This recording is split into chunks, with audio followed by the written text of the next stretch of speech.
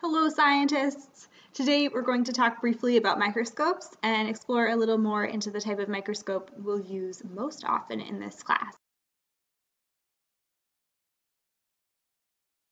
Our big idea for today is that microscopes are optical tools used for viewing very small objects. An optical tool means that we use our eyes to perceive the information, and microscopes bring into focus things that are very, very small, often that we can't see or see the details of with our naked eye. In this class, we'll use two types of microscopes, compound light microscopes and dissecting microscopes.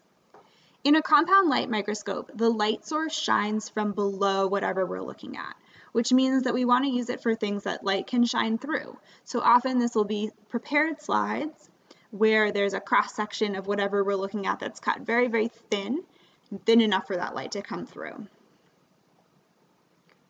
Dissecting microscopes have a light source that shines from above. That means that we can view things that light can't shine through. As the name suggests, this is often used for dissections, but we'll mostly just use it for larger objects in this class. Today we're going to talk a little bit about the parts of a compound light microscope, um, and then once we start using dissecting microscopes in class, we'll go over the parts of those in a little more detail.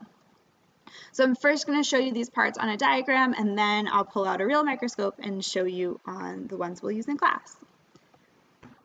Okay, here's an outline of our microscopes, and these are the most important parts. The eyepieces, the neck, the nose with the objective lenses attached, the stage, and the stage controls to move the stage forward and back, the light control and the light source, you can see it's below the stage where our slide will sit, the coarse and fine focus, the coarse knob is the wider knob with the larger diameter and the fine focus is the one that sticks out a bit more, it has the smaller diameter. And then of course the power switch which is on the back of the microscope.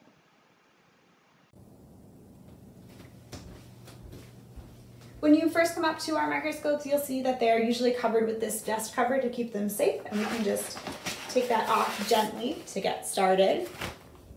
The first important part are our, our, are our eyepieces, and you can very gently adjust if you need to make them a little wider or narrower for your face. We have the neck. When we pick up our microscope, we'll hold the neck and we'll place one hand under the base to keep it safe. Next we have the nose. The nose is a ring where our objective lenses are attached and we can spin it to change the magnification of our view. So we have our highest level of magnification that we'll use, which is the 40x blue lens. We have 10x, which is the yellow lens, and we have 4x, which is the red lens.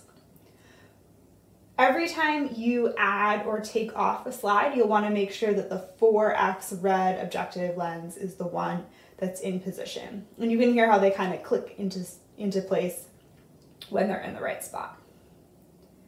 So the stage is where we'll put our slide. There's a little clip here, we'll slide it open, get our slide settled, and then close that clip.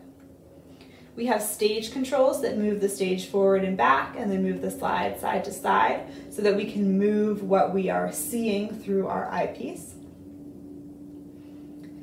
We have our focusing knobs. Our coarse focus knob is the one we'll use first to get that focus slightly or as close as we can. And then once it's pretty good, we'll use the fine focus to get it really crisp. I would recommend getting it as focused as possible using the red lens, then bump up to the yellow and do just a little bit of focusing. It should be pretty close.